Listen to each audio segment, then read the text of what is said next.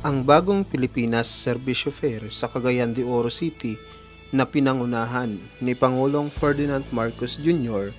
ay inulunsad noong May 16 in 17 na nagdala ng halagang higit sa 286 milyon ng mga serbisyo at tulong. Mga kababayan, ang Pangulo ng Republika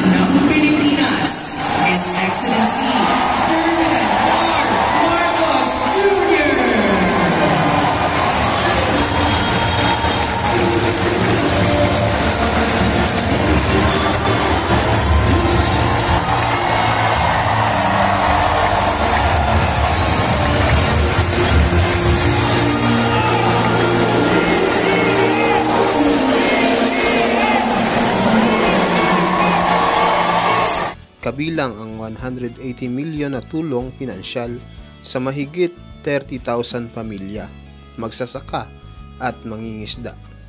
Layunan ng fair na ipatupad ang isang komprehensibong plano para sa ekonomikong at panlipunang pagbabago na may layuning magbigay ng mga serbisyong pampamahalaan at tulong pinansyal sa mga benepisyaryo ang pagtitipon ay bahagi ng isang pambansang inisyatibo na sumasaklaw sa lahat ng 82 probinsya sa Pilipinas. Layunin din ng serbisyo fair na ito na magbigay ng pangunahing serbisyong pampamahalaan sa mga mahihirap na Pilipino sa buong bansa. Ang bagong Pilipinas Serbisyo Fair ay naglalayong magdala ng mga serbisyong pampamahalaan sa publiko at mag-promote ng kamalayan tungkol sa iba't ibang mga programa at proyekto ng pamahalaan. Ayon kay Pangulong Bongbong Marcos, mahalaga ang pagbabago sa attitude ng mga Pilipino at ang pagtanggap sa mga pagbabagong pangloba. Binigyan din din niya na sa ilalim ng bagong Pilipinas, ang lahat ay magkaisa upang mapabuti ang bansa.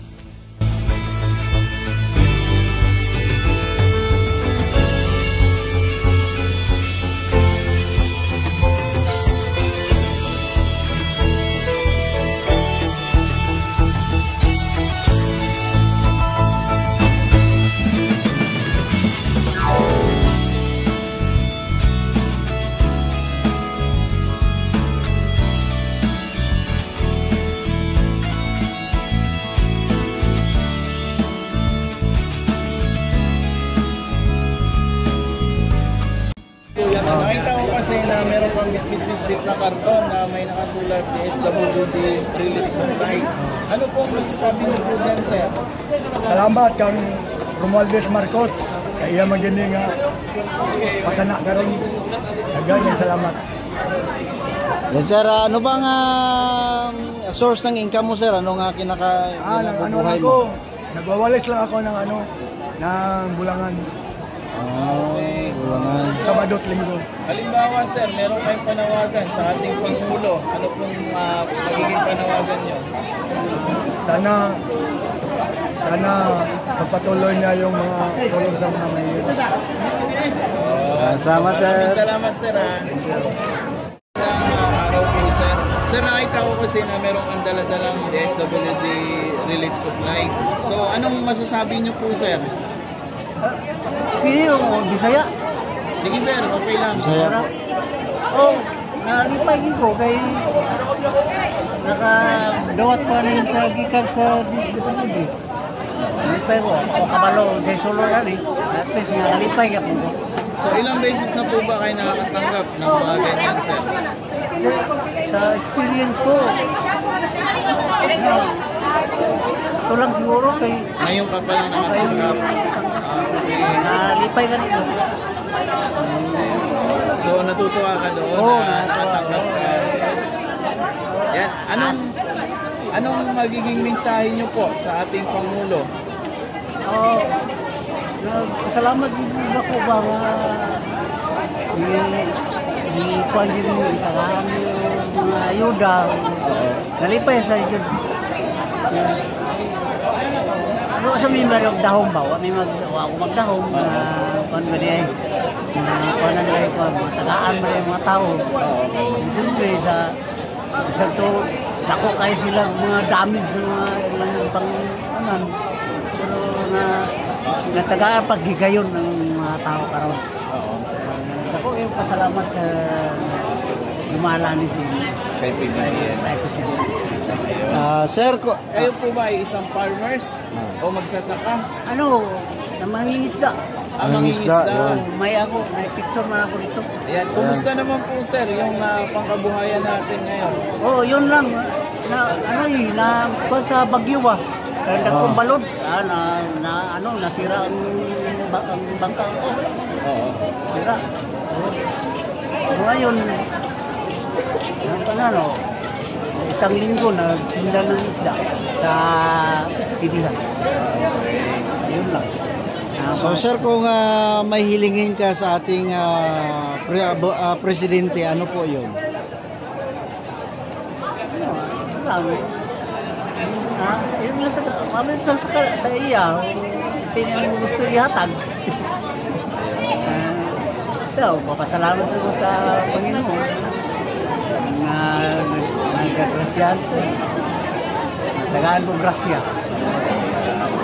Ayun sir, maraming salamat ha. Salamat po sir. Sir, nakita ko kasi na merong kang dala-dalang box. Yan, ah, itong ano, DSW, DSWD Relief Supply. Sir, anong masasabi niyo po sir? ay, ay, ako ko pasalamat kang Bungong Marcos sa nakadawat ko ano. Ah, pwede Tagalog sir? Pwede Tagalog?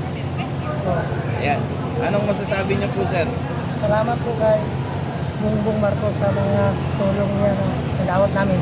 Ayun. So, maraming salamat sa mga place ah, tulong na natanggap niyo po. No, ano kayang mga laman nito, sir? Nasabi na ba sa inyo? Ah, hindi naman. Ayan. Sige, sir. Maraming salamat, sir. Salamat po sir. Salamat. So, So, sir, ah, ano bang ano mo, ah, trabaho mo nung ah, pinagkakitaan mo? Construction worker. Construction worker, wala kang ah, ah, lupang ah, sinasaka or Mayroon. meron? So, ngayong tag-init, ano ba ang ah, gusto mong ah, ah, hilingin sa ating presidente na tulong sa ating ah, sakahan? Patubig, Patubig, irrigation, ano? Oh, so, ibig sabihin, sir, wala ding ah, patubig diyan sa inyo. oh, wala nang tubig sa amin kasi uh, inumin tubig wala. Wala din. Wala na. Pati Wala na rin. inuming tubig, natuyo na. So, ibig sabihin, umaasa lang talaga kayo sa ano Wala ngayon. Ito na. lang sa ibang barangay papuntang ano papuntang Tatag. Ah, so bababa pa kayo. Ibig sabihin, nasa mataas na lugar kayo sa bundok. Ay, hindi na masyado basta mga ano lang 3 kilometers. 3 kilometers. So doon pa kayo kukuha ng tubig sa patag. Ayan. So anong ah, panawagan mo kung sakali sa Pangulo Oh. natin? Sana matulungan niya sana matulungan niya kami ng matubig. Yun, Tubig, na magkaroon ng patubig. Ano? no? Kasi dalagang tagtuyot ngayon. Mm. Eh, kumusta naman yung mga pananim nyo? Oh, kasi dagdag ngayon parang mga, mga saging wala na. Wala na yung mga saging. Ano ba yung mga Wala tanim nyo, sir? Saging at saka niyog. Saging tsaka niyog. Ayun. So yung niyog, medyo okay-okay pa yan eh, no? Matibay-tibay. Pero yung saging nyo, wala na Tuyo. talaga. Ayan. Salamat, Yan, sir. ah. salamat sir, salamat. Salamat. Para sa imo ah, kung ah, gaano kalaking tulong yung ginagawang bagong Pilipinas serbisyo ngayon? Ah, para sa akin po talaga is malaki po talagang tulong na naidudulot sa mga bawat Pilipino yung ganitong programa. Especially po sa mga mahihirap. Kasi po may iba't ibang benepisyo po silang makukuha dito. At saka most of them po mas solve po yung problem na kung kung makukuha po nila yung anong benepisyo ang gusto nila. Ka- Kanina sir may mapa kayong nakikita. na Yes, kayo pinakita sa amin. Ito so far nandyan yung mga serbisyo na dinis-distribute o binibigay dito. Ah. Ah, overall para sa iyo, ano kalaking tulong yan sa mga kababayan natin? Ah, malaking tulong po tong mapping natin para po mahanap po natin yung kung anong kung saang lugar po tayo pupunta. First is pu- pupunta po sa registration, after registration tagging, then after tagging po is doon mo malalaman kung saan kang lugar pupunta para po ma solusyonan yung problema na hinihingi mo or yung hinihingi mong benepisyo dito sa programang ito. Eh po, ay, para po sa akin, ang mga naibibigay po na serbisyo ng serbisyo fair is kagaya po ng pag-process ng Phil- PhilHealth ID cards, yung sa GSIS, tas meron din po ang DSWD food packs, ah, meron din pong libreng gamutan like sa DOH, Lab for All, ah, sa mga Dole Topad po na release uh, or payout assistance and meron po din sa DNR, sa agriculture at sa BPDEA or sa SSS na mga or parehistro din po para sa mga bagong voters. Meron din po sa COMELEC sa DPWH, meron din po DILG, PCSO, DFA din po meron.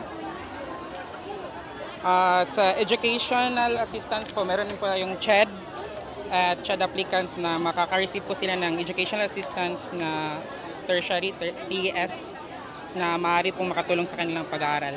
So generally, parang whole of the nation approach, you know? Lahat ng Yes po. department, lahat ng serbisyo na kailangan ng mga kababayan natin, especially dito sa Cagayan de Oro and uh, nearby uh, places dito sa Cagayan de Oro is pwede nilang ma-avail Yes po. ngayong araw. Yes po.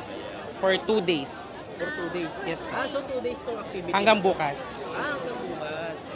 Ah, sir, ah, ask ko lang, ito ba ay lahat libre or may gagastusin sila? Wala po. Libre po lahat.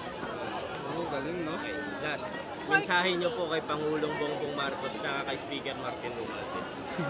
Um, message ko pa is kinda, maraming salamat po sa pagtulong ng mga sa bawat Pilipino pong mahihirap lalo po sa mga di walang kayang mag, mapagamot or mapa, mapag-aral yung sarili nila Espe- especially po sa amin na estudyante so malaking tulong po talaga yung mga programa na binibigay nila at nakaka at maaari pong makatulong at maumawan po yung buhay ng bawat Pilipino.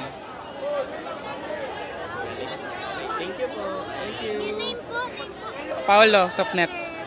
Thank you, loyal po. Thank you. Thank you. Thank you po. Sige. Ito sa amin dito sa ano.